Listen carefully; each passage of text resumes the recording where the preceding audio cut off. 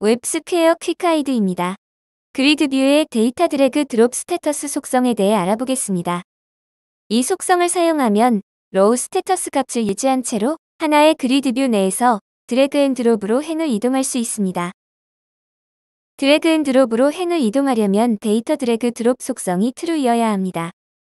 dataDragDropStatus 속성의 기본 값은 false입니다. rowStatus를 유지하려면 true로 지정하십시오. 예제를 통해 확인해 보겠습니다. GridView입니다. 상단의 trigger 버튼에는 onclick 이벤트가 걸려 있습니다. dataList의 deleteRow 함수를 이용하여 focusing된 행을 삭제하는 코드입니다.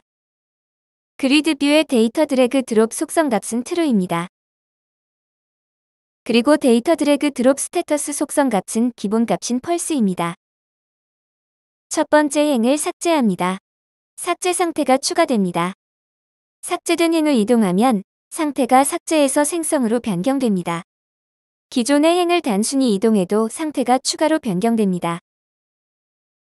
화면을 우클릭한 후 View DataCollection 메뉴를 선택해서 다시 확인해 보겠습니다.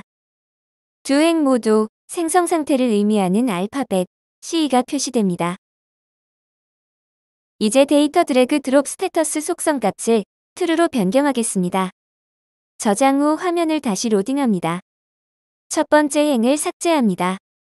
삭제 상태가 추가되고 View DataCollection 메뉴로 확인해봐도 상태 값은 삭제를 의미하는 알파벳 D입니다.